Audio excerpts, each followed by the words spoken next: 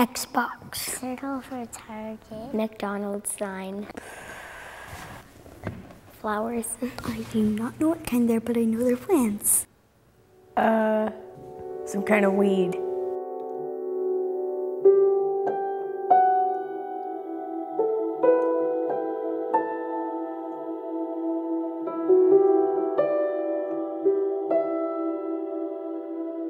Probably during the day, I send about 300, 400, 500 text messages.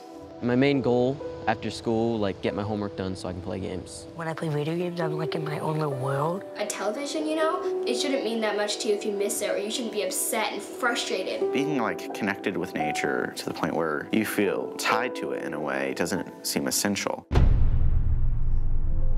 The landscape of childhood has changed. This is a very large experiment.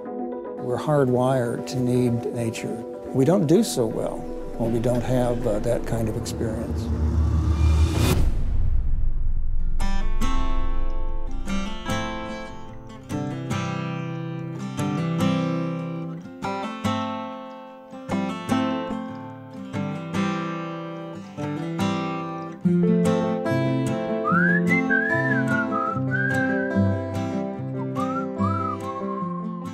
It's fun, if not more fun than using computers, just because it's something I've never experienced before, really.